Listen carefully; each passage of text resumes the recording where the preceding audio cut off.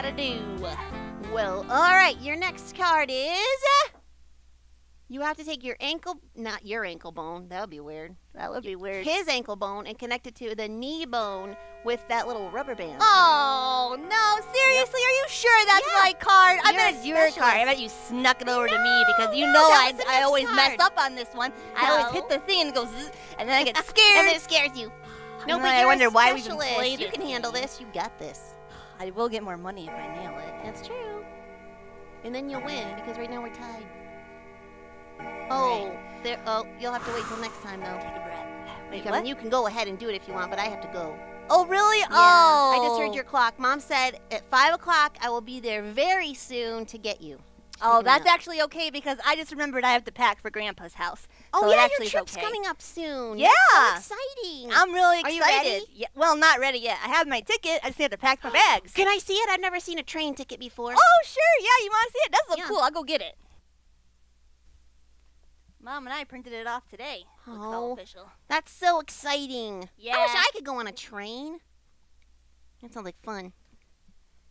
Here it is. Whoa, that see looks my name cool. right there? Yeah. Cougar Hyde Stephen. I'm What? not sure why they put it backwards. Yeah, that's weird. And there's where I'm going, Galesburg, Illinois. Galesburg, Illinois? Did Grandpa Hooger Hyde move? No! Why does it say Galesburg, Illinois?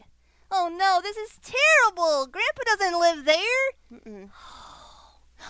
Oh no, I think I know what happened. What? Well, Dad has to go to Galesburg on a business trip, and, and I bet that when Mom ordered our tickets, she must have mixed up our destinations. Oh no! I hope she can fix it. yeah, me Otherwise, your dad's gonna have a nice fishing trip with Grandpa Hooger Hyde. Oh, no, it's my turn. Oh, Well, can you imagine if you had tried to get on that train with that ticket? I don't want to imagine. I can imagine me freaking out and being all scared when Grandpa's not there to pick me up. I don't think you would have gotten that far.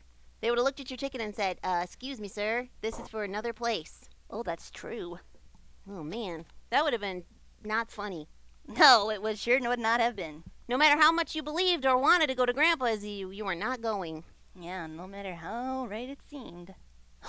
Oh, hey! What? I just thought of Proverbs 14:12. There is a way that seems right to a man, but its end is the way to death.